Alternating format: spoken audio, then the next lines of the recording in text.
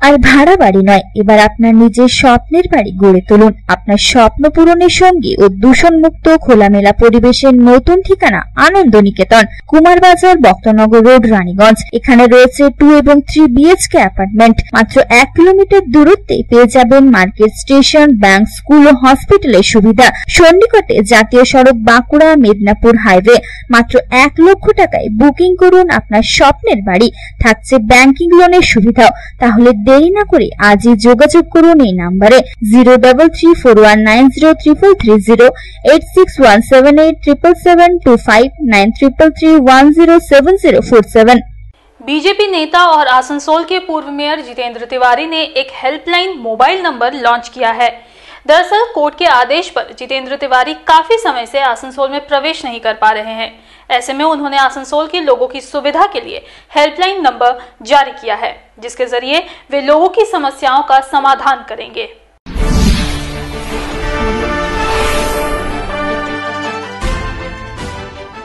BJP नेता और आसनसोल के पूर्व मेयर जितेंद्र तिवारी ने एक हेल्पलाइन मोबाइल नंबर लॉन्च किया है सोमवार को बीजेपी नेता जितेंद्र तिवारी ने दुर्गापुर में प्रेस कॉन्फ्रेंस कर दावा किया कि कोर्ट के आदेश के मुताबिक वे काफ़ी समय से आसनसोल से बाहर हैं। उन्होंने बार बार कोर्ट से आसनसोल में प्रवेश करने की अनुमति देने की अपील की है, लेकिन राज्य पुलिस उनका विरोध कर रही है नतीजतन, वे आसनसोल लौटने में असमर्थ हैं। इसलिए वे आसनसोल के लोगों के साथ खड़े होने के लिए एक हेल्पलाइन नंबर लॉन्च कर रहे हैं helpline number seven eight double one eight seven double one nine zero है। ये मोबाइल नंबर 30 जून को सुबह सात बजे से रात 10 बजे तक सक्रिय रहेगा।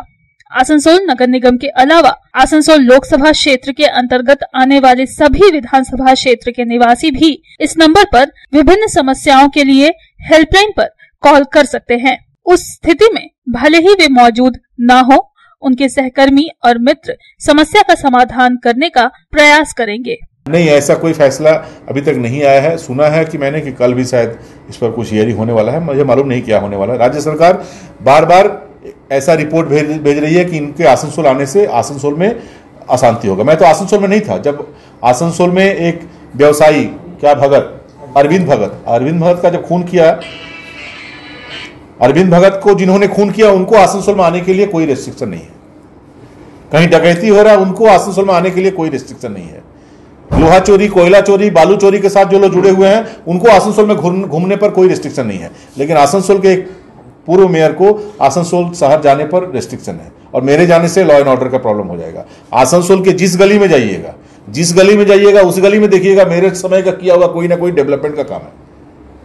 तो वो अच्छा लग रहा है। जो डेवलपमेंट का मैंने काम किया, उसको वो लोग इंजॉय कर रहे हैं। लेकिन जिसने वो काम किया, जिसके टीम ने वो काम किया, मैंने अकेले नहीं किया था, हमारा पूरा टीम था कॉर्पोरेशन का। वो आसनसोल में आएँगे तो इनको दर्द है। मैंने जब गुलिस्ते को लहू से सींचने की बारी आई तो हम, खून हमने अपना बहाया। अब जब गुलिस्ता खिलकर गुले गुल बाहर हो गया है तो ये कहते हैं, गुलिस्ता तुम्हारा नहीं है। ये हाल है। तो ये हम लोग नहीं मान सकते। ये शहर हमारा है, और इस शहर को हम लोग नहीं भूलेंगे। तृणमूल जितना भी प्रयास कर ले, इस शहर से दूर हम लोग को नहीं रख सकता। गौरतलब है कि आसनसोल में हुए कंबल कांड के मामले में पुलिस ने बीजेपी नेता जितेंद्र तिवारी को गिरफ़्तार किया था। बाद में कोलकाता हाई कोर्ट से उन्हें सशर्त जमानत मिली थी और कोर्ट ने उन्हें आसनसोल में बिना अनुमति के प्रवेश नहीं करने के निर्देश दिए थे। तब से जितेंद्र तिवारी आसनसोल में प्रवेश नहीं कर पा रहे हैं। बताया जा रहा है कि जितेंद्र तिवारी के आसनसोल में प्रवेश करने से संबंधित मामले को लेकर जल्द ही कोर्ट का फैसला आ सकता है। दुर्गापुर से साधन रोज की रिपोर्ट पब्लिक टाइम्स